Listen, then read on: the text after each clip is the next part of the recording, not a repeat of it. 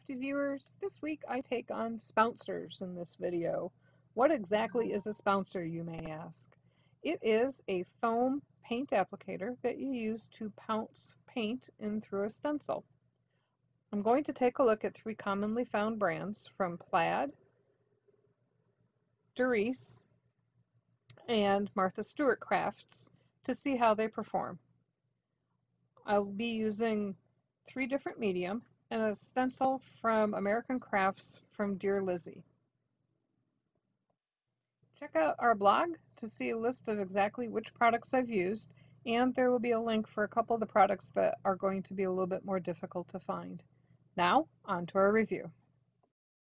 So, let's get to work to see how the different uh, spouncers work. What, you ask, is a spouncer?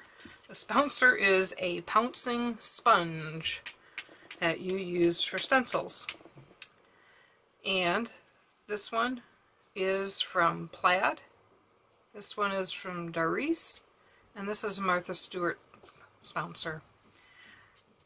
These two seem very similar in that this is probably the squishiest of the three. This one is a little less squishy, and this one is pretty firm. There's not a lot of give to this one unless you really push on it compared to the other two. This one is, uh, the, the one from Darice is a little lopsided. Don't know about the quality control. You can see very obviously that it's a little bit cattywampus. Doesn't really impact it in use, but um, it is an indication of the level of quality. Uh, this one seems to stand up nice and straight, and the Martha Stewart one comes in this neat little tube, which I'm sure you can probably also use as part of your mixed media art and the sponge part comes out for cleansing. It is a little tricky to get it back in. You kind of have to squish it to get it back in there. Once you're done washing it and letting it dry, I recommend letting it dry outside of the tube, otherwise it may never actually dry very well. And this is your good old, rather firm makeup sponge. I have been using the makeup sponges with my Distress Oxide paints, or inks, um, to use it so that I didn't dirty up all of the different applicators that I have for ink. Now, I wouldn't use one of these for ink. Um, I think these work just fine. There's no reason to um, use one of these, and it probably wouldn't work as well, would be my guess. The foam is not quite as firm. Plus, I mean, these fit perfectly in the little one-inch size inks underneath the uh, base of it, so because I've used this one quite a bit to date, I'm going to start off with this one and see how it works with the 3D stamp paint. I've had other blog posts where I did a comparison of different ways of adding shimmer to a card base and the stamp paint was one of the mediums that I used there. And it has this beautiful shimmer to it. I like to stir it up a little bit before I get started. And I'm actually just going to put a little bit on here and maybe even just use the spouncer straight from the sponge to load it up. You don't need very much of this at all.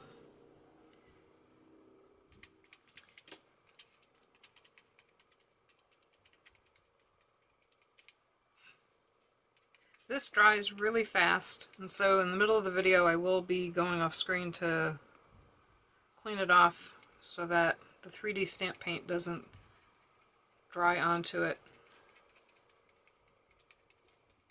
as well as onto the stencil.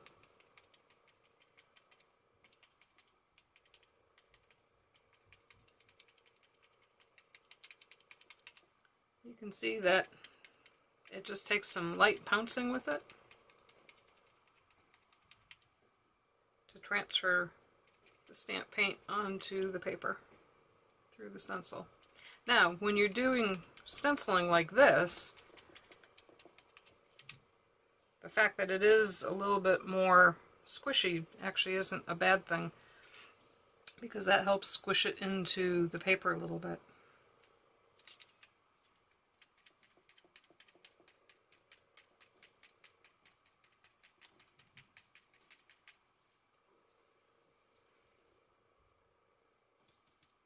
Now this one's so much firmer. You can even hear it on the paper.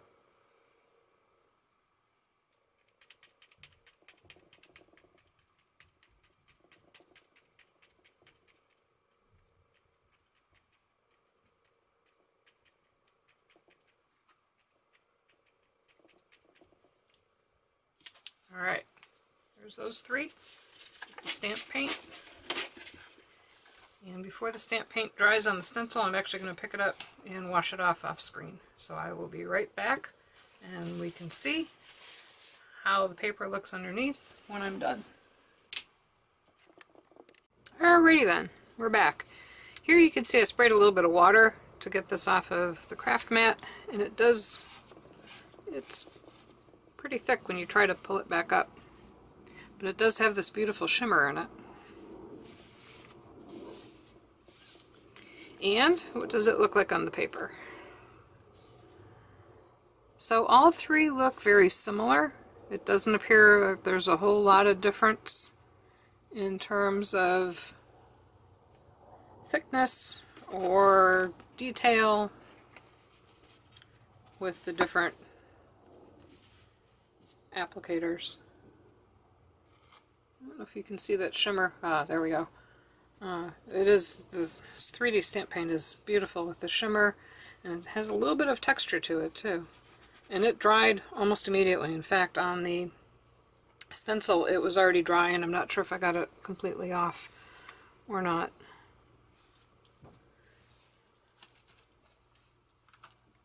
So, let's see how the Prima Art Alchemy acrylic paints work.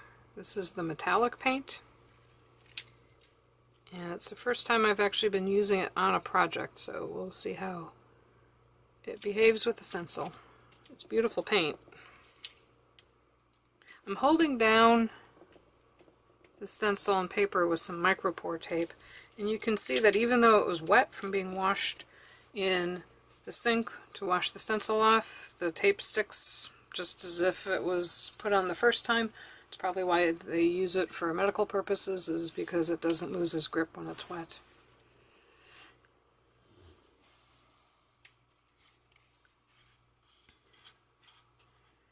So this is the metallic paint in Wild Fuchsia, which I thought would be pretty with the flowers on the stencil.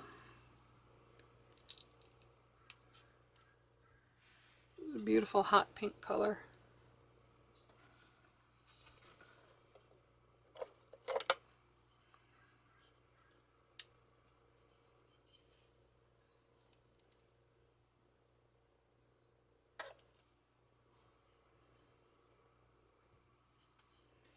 Actually, I'm just going to use it right from the lid there.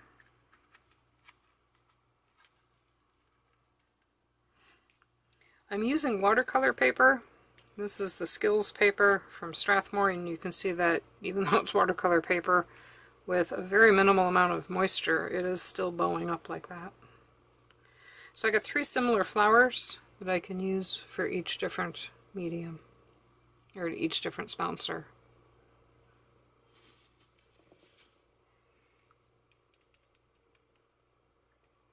This is a lot more liquidy paint than the paint, the 3D stamp paint.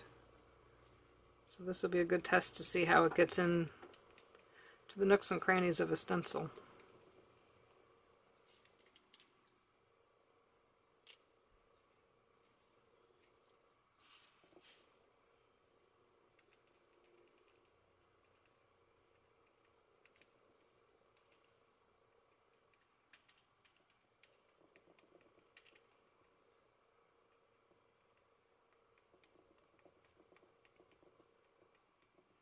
Motion that I'm using is straight up and down motion. I'm not really moving it side to side at all.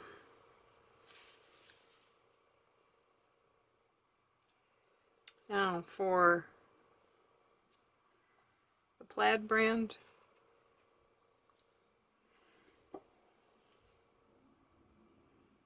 Give this a little stir.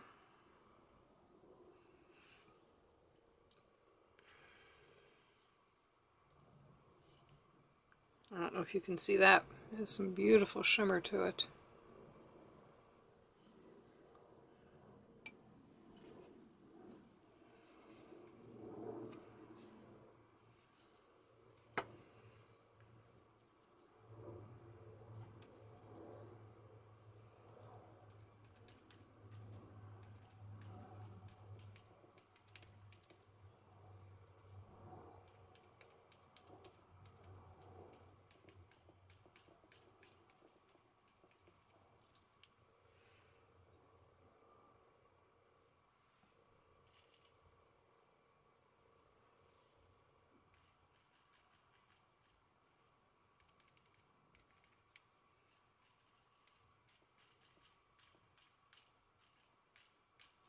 This one seems to go on a little easier with that one.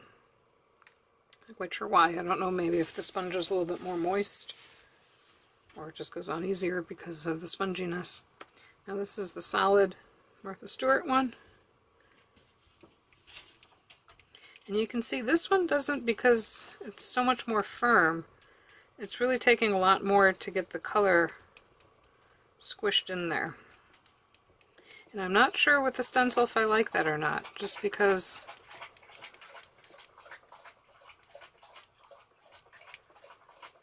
just because, sorry, you can hear my dog bark, drinking in the background. It's a dog, not a horse drinking. Oh, she is the size of a small pony. But this one, it's not quite getting the paint in there as readily as the other two. I feel like I would have to maybe twist it a little bit to kind of get it in there.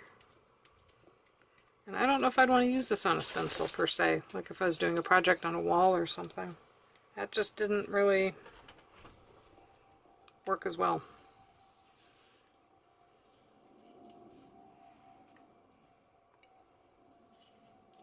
Alrighty, I'll be back as I go off and rinse this off the stencil as well as off the spouncers. And then we'll take a look to see, once it had a chance to dry, how the three look and see if there's any leakage. Alrighty, I'm back. So here you can see the results of using the Art Alchemy paint. This is the metallic paint. And there's a little bit of a shimmer to it, which is a little different than the shimmer that you see from the 3D stamp paint, the Viva paint. You can also see with the 3D stamp paint that there was very little bleed through underneath the stencil. Now I will admit I am not a stenciler. Um, I usually use it with texture paste. I've never really used it with paint, so it could be the user and not the product. I will have that disclaimer.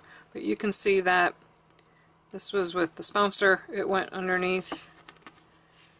Here you can see that we had some seepage underneath and you can see seepage underneath on this one, but the shimmer on this paint is really pretty.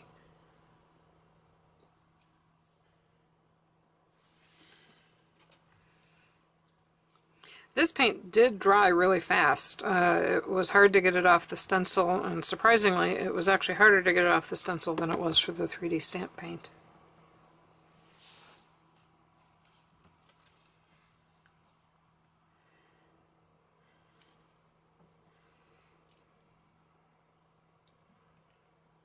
Alrighty. Where did our flowers go? All sides of this stencil look very similar. There we go.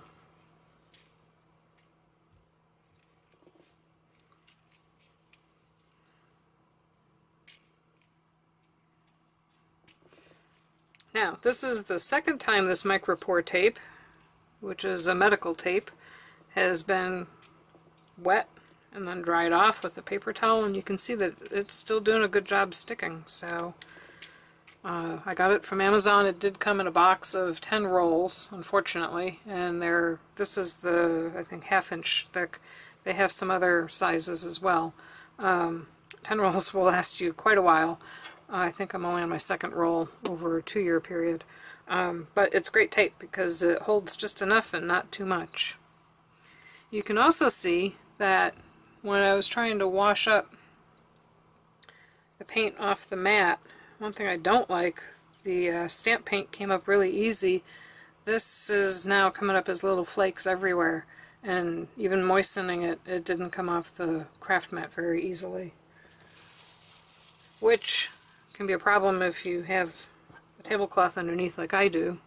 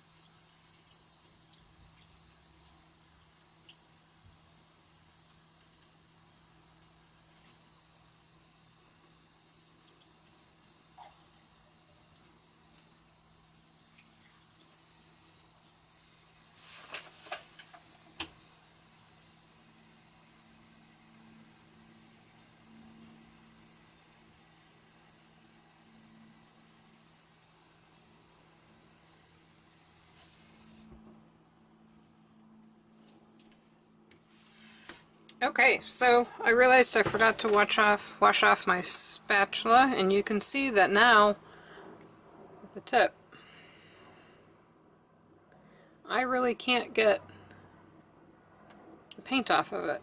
Um, it was not washing off very easily. It'll scrape off, but it certainly wasn't washing off, and that was only from sitting there for just a couple minutes. So now on to the Dylusions paint. Um, I have not used these paints very much. And it's something I do want to try to get more use out of. And these are nice and thick and creamy. And I'm probably just going to dip straight out of there now. This is a great stencil because we got lots of leaves that we can use it on.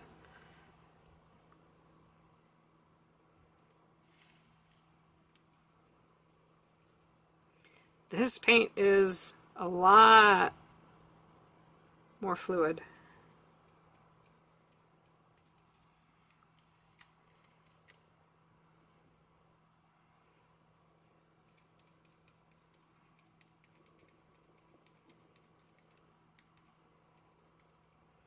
These little leaves are a good way to understand how well the spouncer works in fine detail areas.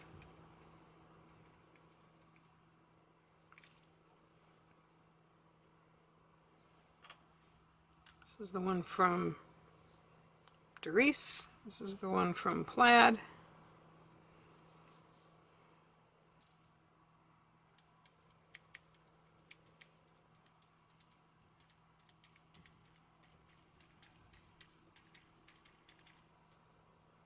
And since we don't have a whole lot of large leafy areas, I'm actually just going to go in between the flowers here with this one.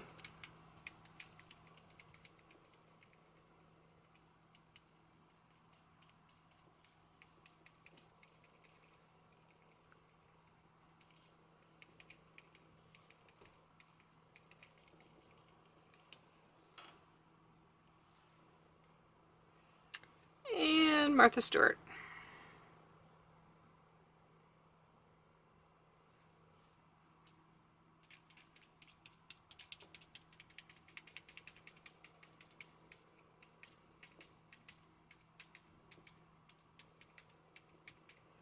Again, you can see it's because this foam is so firm, it's really not going through the stencil very well, like the other two did. Not as much of a fan of this one as the other ones.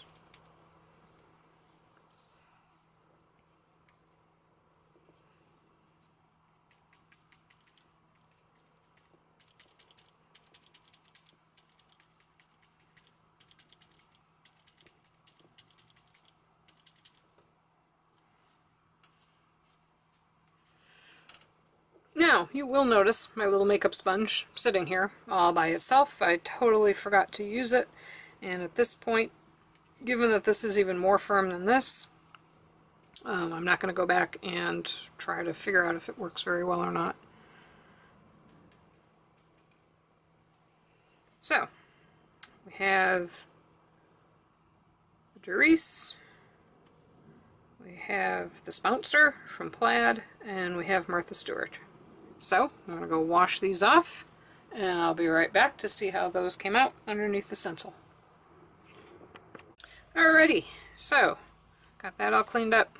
Uh, what was interesting was I actually washed the Spouncers first and then the stencil, and this Dylusions paint was the paint that came off the easiest, even though it sat on the stencil the longest. So, um, so that was easy. Now, to take a look at our final sample. This was the one from Darice. And you can see that the paint really went underneath quite a bit. Again, like I said earlier, I am not a stencilist. It's entirely possible. It's operator error. However, using the one from Plaid, this one did retain a little bit more of the detail. There's not as much seepage underneath the stencil.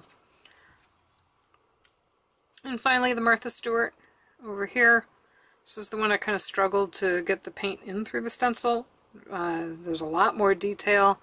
These lines are a lot crisper than over here. You could see I got very fine areas, and here I could not get into the fine areas in the stencil. So this is probably the least favorite of the three. And it's a close call between the other two, but I do think that I like the one from Plaid a little bit better. It is a spouncer. Um, you can also see a pretty big difference in the size of the handles. So even though the price was very similar between both packages, uh, the quality of the one from Plaid is higher. Um, it was just a much nicer one, and I do like the results of that one a little bit better as well. So, you can also see the shimmer from two of the three paints um, and the beautiful blue metallic shimmer on this Art Alchemy paint. This is the first time I've used it and I can't wait to create other stuff with it. Um, and I've used the 3D stamp paint quite a bit. Um, I'll link to two other cards at the end of this video where I actually use them in card making projects as well as links to the blog where I reviewed different ways of adding shimmer onto a card base. That's all for today. Happy crafting! And here again is a quick look at our winner. If you liked today's video, please give it a thumbs up. And to see more videos like this, please click on the subscribe button below. And that way you'll be kept up to date with all the new videos that we post. Thank you!